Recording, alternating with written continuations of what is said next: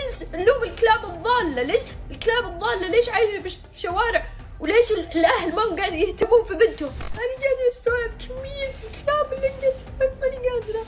والله حرام. قاتلينهم في مكة في بيت الله. يا أخي افتحوا تويتر شوفوا ما يصير.